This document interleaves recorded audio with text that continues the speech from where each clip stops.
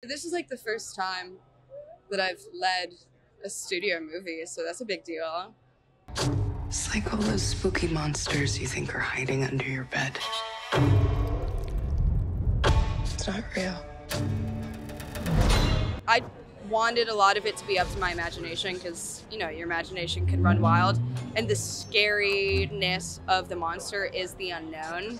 The fear of the dark and the fear of the unknown is what is so terrifying to me. So I kind of let my imagination run wild. I think it's probably the scariest thing I've ever done, and I've seen some pretty scary movies. It is just terrifying. And I remember thinking when I first got it, like, I don't want to play another damsel in distress, but I think Sawyer is anything but that.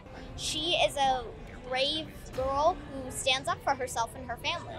Want more entertainment news? Follow On the Red Carpet on Instagram, Facebook, TikTok, Twitter, and YouTube.